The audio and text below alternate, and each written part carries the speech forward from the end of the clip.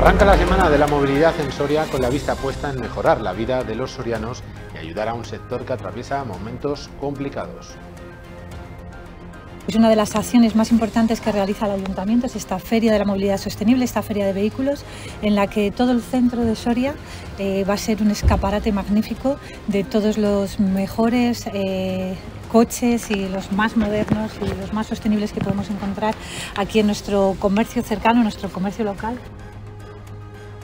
Es viernes 16 de septiembre de 2022. Comenzamos.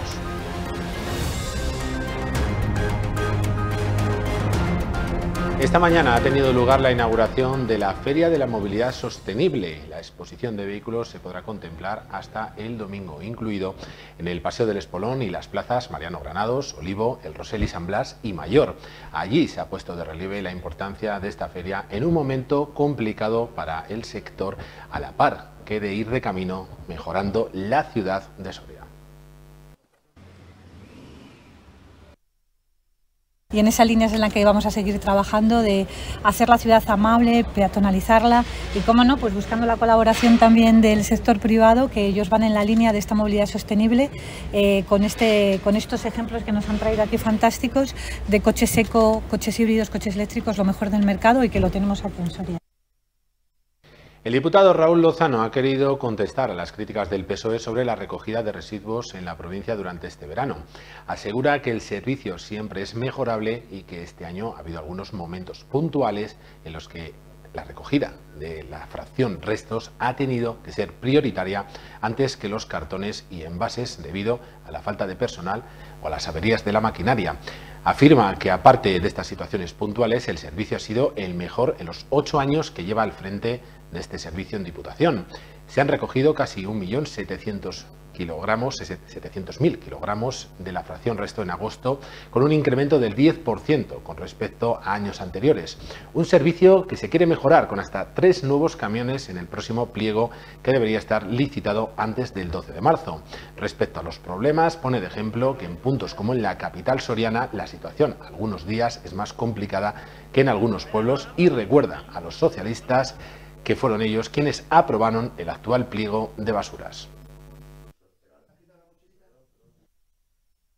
Algo vería que no me gustaba para que el presidente de la comisión de la legislatura pasada se abstuviera de la aprobación. Y el Partido Socialista lo aprobó. Entonces, mm, claro, entiendo que Juanjo no estaba eh, eh, como diputado ni en la formación la legislatura pasada, igual le pide un poco a, a pie cambiado, pero sus compañeros lo podían decir. Es un pliego que hemos hecho nosotros que si no está funcionando, igual la culpa la tienen ellos, que igual podrían haber hecho en este pliego lo de las recogidas a la demanda. Ayer se celebraron unas reuniones previas a la conformación de una futura concentración parcelaria en Langa de Duero. La delegada territorial compartió impresiones con los regantes y los representantes del ayuntamiento para la modernización de su regadío. Tras los convenios firmados por los componentes de los canales de EZA y de INES, los regantes de Langa de Duero transmitieron su interés en adoptar estas fórmulas que les procure mejoras en sus sistemas de riego. De, Gregorio transmitió a los agricultores que el convenio con el Ministerio sería complementado con otro que se firmaría con la Junta y que aportaría un 26% del coste total de la obra a fondo perdido. Esta modernización afectaría a unas 600 hectáreas.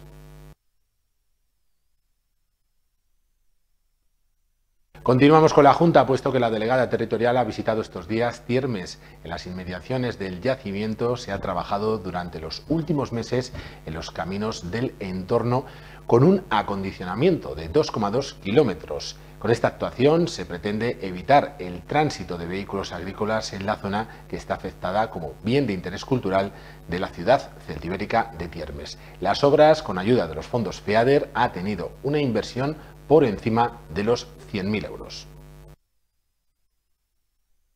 Este jueves tenía lugar el seminario abierto Meditaciones sobre Europa, Ideas, Valores y Propuestas para una Europa en Cambio. Organizado por la Fundación Ortega Marañón, este seminario se desarrolló en el Centro Cultural Alameda con las presidencias españolas en los semestres europeos como hilo conductor. Este seminario ha contado con la colaboración del Ministerio de Asuntos Exteriores a través de la Secretaría de Estado para la Unión Europea. Durante el mismo acudió el alcalde de Soria, Carlos Martínez. Arcos de Jalón se encuentra de fiestas patronales. Estos días han honrado a su patrón, el Santo Cristo de la Buena Muerte. Tras dos años sin disfrutarlas, había muchas ganas. El pueblo de Arcos de Jalón ha sido paciente y ahora tiene el fruto a su paciencia. Están en plenas fiestas del Santo Cristo de la Buena Muerte. Arrancaron con un pregón emocionante. El poder dirigirme otra vez a todos mis vecinos, a todos los jóvenes, a todo, bueno, todo el mundo ¿no? Eh, que estaba allí para mí, la verdad que es el momento más emotivo de las fiestas y la verdad que el momento lo requería, ¿no? Después de estos tres años, volver a dirigirte a la gente, volver a, celebrar las fiestas, volver a juntarnos todos, a socializar, a poder estar y darnos un abrazo, pues al final eh, es como si empezáramos de cero, ¿no? Este miércoles honraron a su patrón con la Santa Misa en la iglesia parroquial. A continuación tuvo lugar la procesión por las calles de la villa. Tras los actos religiosos llegó el momento de la comida con un gran menú.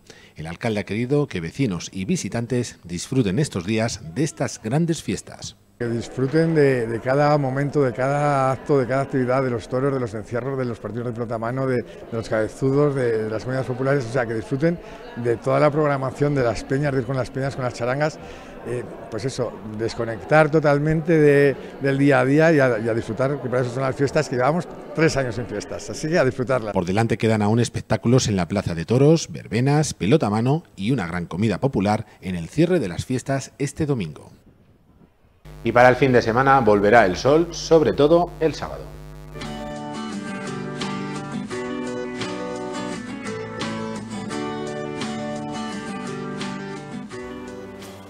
Según indica la EMED, para este fin de semana el sábado contaremos con un cielo poco nuboso con intervalos de nubes altas las temperaturas mínimas en descenso ligero con 8 grados y las máximas sin cambios con 24. Los vientos soplarán del nordeste.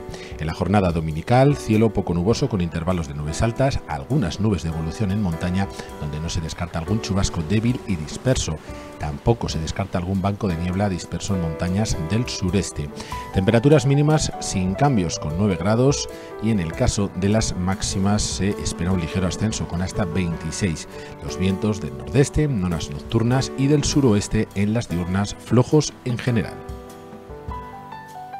Hasta aquí la actualidad por el momento, volvemos con más información el lunes, como siempre a la misma hora, aquí en Canal 9 Soria.